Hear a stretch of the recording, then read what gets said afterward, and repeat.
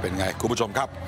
นี่ไปต่อกันที่ความชัดเจนแล้วล่ะ ของคุณสมศักดิ์เทพสุทินนะครับ วันนี้นัดสื่อมวลชนแถลงข่าวอย่างเป็นทางการโชว์หนังสือลาออกเลยนะครับค่ะจากตำแหน่งรัฐมนตรีว่าการกระทรวงยุติธรรม แล้วก็ลาออกจากพักพลังประชารัฐเป็นที่เรียบร้อยนะครับ แล้วก็ยืนยันว่าไม่ขอรักษาการในตำแหน่งรัฐมนตรีเพื่อความสบายใจของทุกฝ่าย ที่อาจจะมองว่าเป็นการเอารัดเอาเปรียบ ในช่วงของการเลือกตั้ง และที่สำคัญมีผลตั้งแต่วันนี้เป็นต้นไปเท่านั้นยังไม่พอนะฮะ แกยังโชว์ใบสมัครเข้าเป็นสมาชิกพรรคเพื่อไทย ที่จะไปสมัครในวันที่ 20 มีนาคมนี้ พร้อมพูดถึงเหตุผลว่าการย้ายไปเพื่อไทย เพราะเชื่อว่าจะสามารถขับเคลื่อนงานได้ และทำให้รัฐบาลใหม่สำเร็จเป็นที่พึ่งของประชาชน โดยเฉพาะเศรษฐกิจ จึงต้องมองพรรคการเมืองที่จะเดินหน้าได้แบบแลนสไลด์เท่านั้นนะครับ อีกทั้งพิจารณาจากผลสำรวจการคำนวณส่วนตัว คิดว่าพรรคเพื่อไทยได้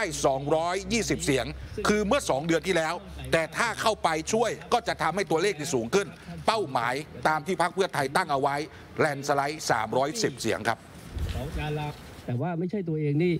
เก่งกล้าสามารถอะไรหรอกแต่ว่าจะไปช่วยให้ให้ให้ดีที่สุดนะครับ การเป็นรัฐบาลเนี่ยก็เป็นใฝ่ฝัน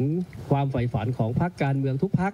ส่วนเป้าหมายตัวเลขเนี่ยผมคงไม่กล้าที่จะไปคิดนะครับ อยากจะช่วยให้ผู้บริหารของเพื่อไทยเขา ได้ทำงานสำเร็จตามเป้าหมายอาจจะให้เกียรติสามมิตรนะเพื่อไทยเนี่ย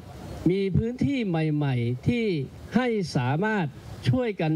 สร้างผู้แทนในพื้นที่เหล่านั้นได้นะครับ ต้องได้มากขึ้น ถ้าเราได้ช่วยกันอธิบายความไปถึงพื้นที่นั้นๆเนี่ยตัวเลขอาจจะมากกว่านั้นก็ได้ ถามผมว่ามีคนตามผมไปเท่าไหร่อย่างไร ผมบอกผมผมไม่รู้เลยเพราะผมก็บอกแล้ว นะว่าท่านสสทั้งหลาย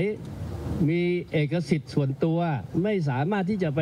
เหนี่ยวนำหรือไปชวนให้ย้ายไปนู่นไปนี่ได้นะครับ ถ้าอยากไปก็ไป ถ้าไม่อยากไปก็ไม่ไป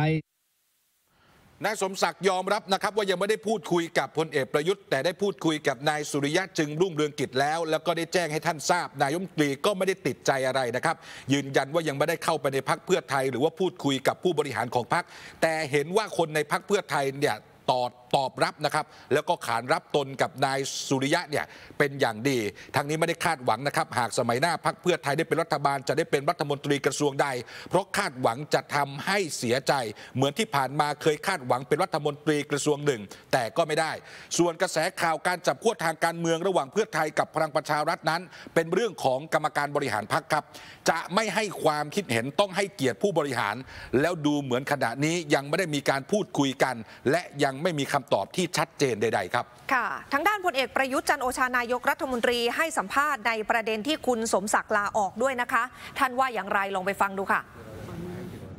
ก็ไปไหนก็ไปก่อนหน้านี้ไหมคะที่ว่าท่านจะลาออกจากคณะรัฐมนตรีแล้วก็ไม่ขอรักษาการก็พอได้ข่าวเหมือนกันเพราะแต่ท่านยังไม่ได้คุยกับเราไงผมก็ผมก็ผมก็ส่งข่าวผ่านไปแล้วบอกว่าเคารพในการตัดสินใจของทุกคนแล้วผมไม่ใช่ศัตรูกันยังรักกันเหมือนเดิมครับท่านนายกครับไปไหนกังวลนะครับว่าคุณสมศักดิ์บอกว่าไปอยู่